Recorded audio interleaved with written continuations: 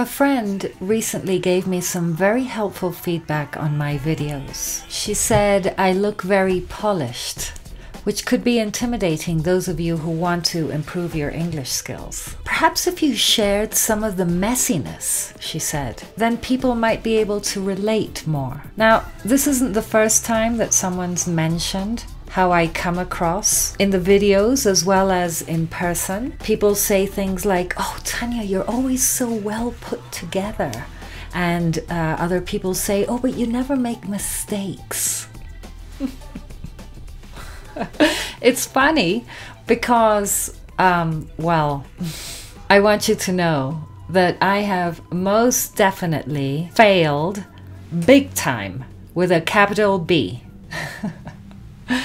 And in fact, it's in great part thanks to those failures that I'm with you here right now today. Failure is the master of all teachers, to be treated with great care, tenderness, and respect. It plays a huge part in attaining confidence. You see, because confidence and fluency aren't tools that you keep in your toolbox and pick out when you need them. Being confident in English, in reality, means being confident in yourself. So stay with me as I save you time and energy by retracing my steps through monumental failures that led towards gaining a solid base, a true groundedness which has helped me in countless ways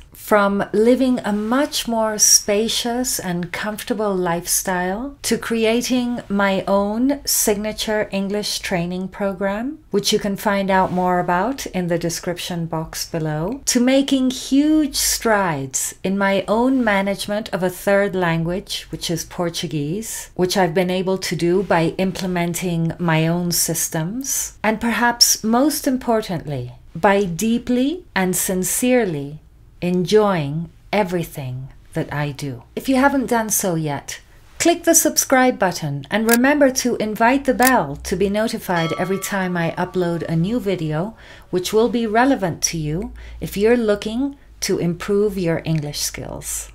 And if we haven't met yet, my name is Tanya Meyer, and I'm an English as a foreign language teacher to adults, specializing in mindfulness practices to help bring clarity, joy, and understanding to your English language acquisition and use in real life situations. Okay, so for this video, I'm going to ask you to have a journal and a pen handy because I'll be dictating some questions along the way for you to reflect on and write about at the end of the video. And and do stay until the end because I'm going to share with you something else that you can do with this video when you watch it again. Okay? So here we go. When I first came across the British Council Teaching Center here in Mexico over a decade ago, it was by complete chance. And it was like suddenly seeing land after years of drifting and being lost at sea. You see, I'd moved back to Mexico from the UK four years prior to that in 2007. And I'd had all kinds of ideas about what my life back in Mexico would look like after nearly 10 years in the UK. Well, to make a long story very short, let me just say that absolutely everything I tried to do to build that ideal life that I had thought about in the UK, here in Mexico, failed miserably. To be honest, I'm surprised, of course, delighted that I survived relatively intact those years of loss, uncertainty, great anger, and frustration. You see, now that I'd returned, there seemed to be so many limitations. I didn't seem to have anything to contribute to the company I'd come back to join. There was nothing I could bring to the table, no opportunity for me to create a new role for myself within the company. And little by little, it became clear. And I don't say this lightly because it was absolutely devastating at the time that there was simply no room for me there.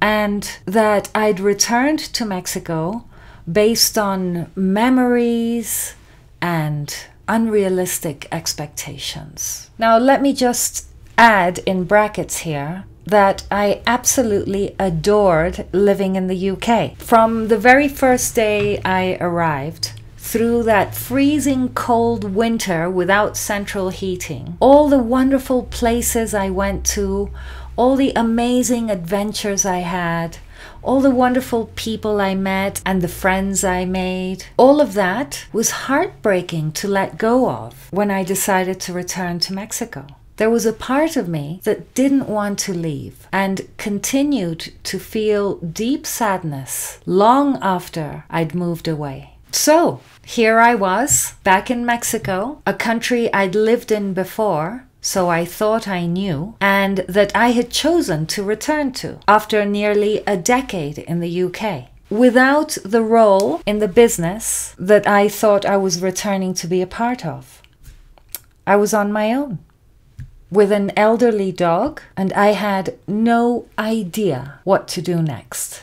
Things were looking very grim indeed. How was I going to support myself at 42 years of age with nothing on the horizon. If feelings of failure are resonating with you in any way, click the like button and comment below with a failure that you've learnt from. Okay, so not long after that, realization that nothing I'd imagined was working out, I came to my first realization the one that I'd like to share with you today. And it's that I sat down and I asked myself this question Tanya, what do you want to do now? What do you want? So please take out your journal and write these questions down, which you'll be reflecting on and answering after you've watched the whole video. Okay? Are you ready? The questions are What do I want? What's my heart's desire?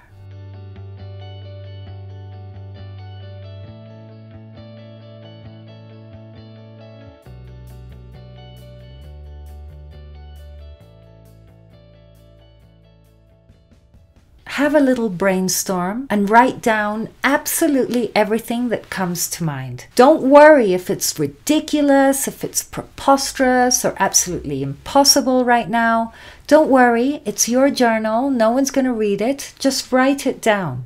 What is my heart's desire? Think about something that you'd be glad to do for the rest of your life even if you have little or no knowledge about what it involves. Just write the questions for now. In my case, I remembered the programs that I used to watch in the UK. I'd spend a lot of time. Back then, we used to watch TV. You know, there wasn't so much internet. There was internet, but people didn't spend that much time on the internet because there was television. And the programs that I loved watching were mainly related to property. I loved programs about property conservation, refurbishment, and renovation. I just love them. The before and after scenes, the amazing transformations. I just found them mesmerizing. Hmm, could I do something in the property industry? I did some research and found a woman in the US who created a branch of the real estate industry called homestaging. Now, Homestaging means preparing properties for sale so that they sell at the best possible price and in the shortest possible time. A little bit more research, and I found myself registering for this woman's course in Seattle, US, that would train me to become a property stager. Perfect! All I had to do now was understand how the business worked and start freelancing my services to all the local estate agents. Got this. Another little aside here is that you might be asking, well, I mean, why didn't you just start teaching again? And that's a very good question, which I'll be very happy to answer, but not in this video.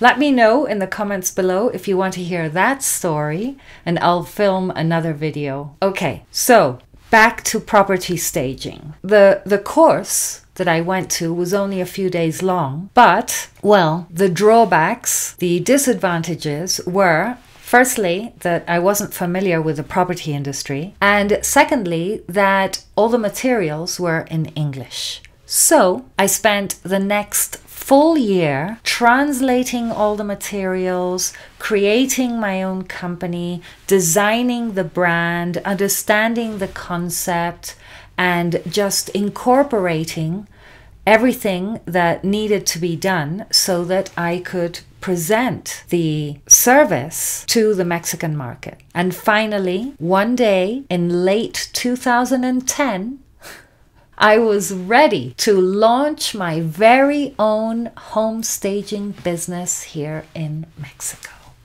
Needless to say, that attempt was also a failure. And it had now been four years since I had earned a single peso, penny, or dime. This was rock bottom. And it's when I came to my second realization. I couldn't keep trying to do something new or something different. I couldn't keep trying. I needed to surrender and accept the situation as it was. And this was a life saving internal shift. For the next few weeks, I spent entire days looking at all the work that I had done, all the efforts I'd made, all the dreams and intentions I'd had, and practicing acceptance and surrender. Yes, it was true. All my attempts to set myself up in the business world had failed. As soon as I was able to truly accept this, I was filled with an instant sense of deep relief. So these are the next questions that I'd like you to write in your journal. What isn't working in my life right now? What do I need to surrender to and accept at this moment?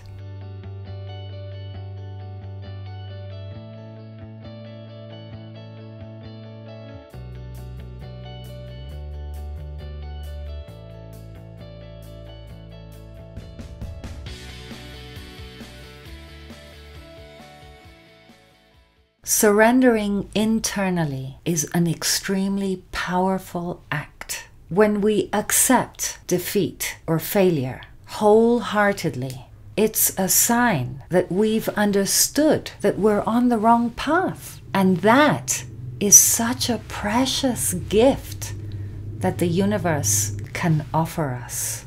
And it was very shortly after this surrendering that the British Council appeared on my radar and manifested by chance. Wait, British Council Mexico? Oh wow. And they teach English to adults. Oh wow. And I'm a highly qualified teacher of English to adults. Bingo. The thought that swirled in my mind at that moment was I don't need to own a business right now. I don't have to be a businesswoman if that's not on the cards for me at the moment. I lived a very comfortable life in the UK being a teacher of English to adults, so I can live a very comfortable life being an English teacher to adults in Mexico. I don't need to create a whole new business. All I need is a job. this was a huge and extremely comforting realization. Perhaps you too might be overcomplicating some things. Perhaps there's a more simple solution to any problems that you might have. So these are my next questions for you.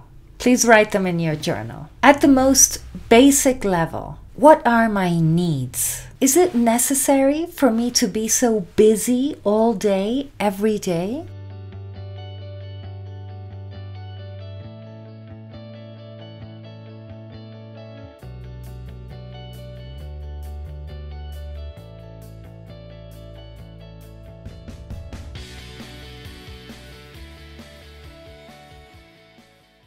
And this brings me to the fourth step on how to start walking on the path of confidence and inner trust. You see, just because I'd secured a position teaching English to adults at the British Council here in Mexico does not mean that all my problems were suddenly solved. No, because I hadn't taught for four years and the circumstances under which I had taught in the UK were very different. And I looked like a person who had 20 years experience teaching English to adults.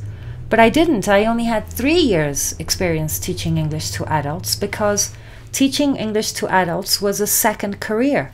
Before that, I'd worked in the marine industry. And that's what I thought I'd be doing here in Mexico.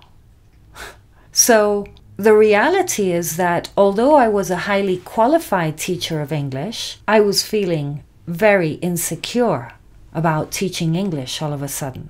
And here's a little lesson for you that a lot of knowledge does not equate to confidence.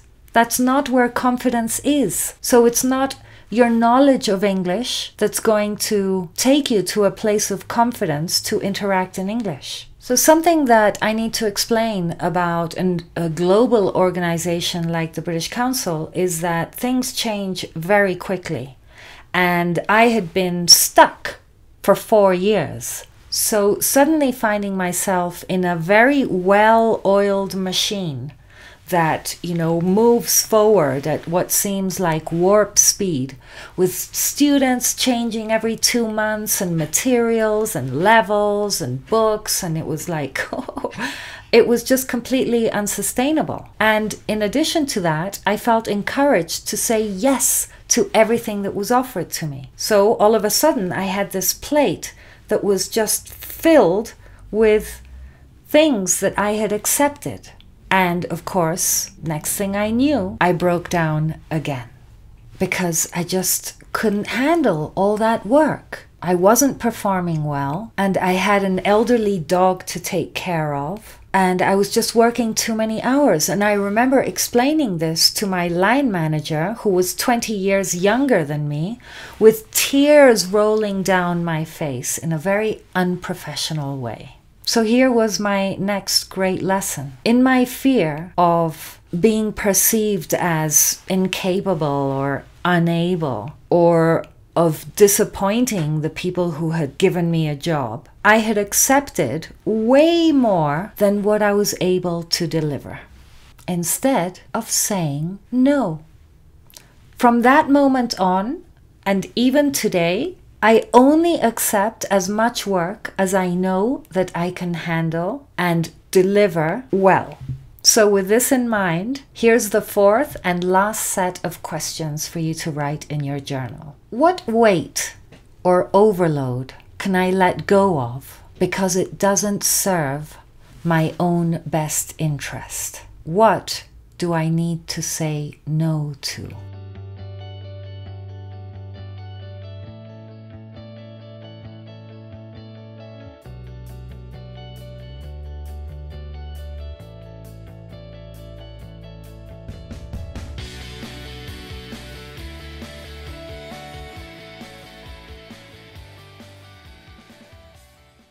So there you have it.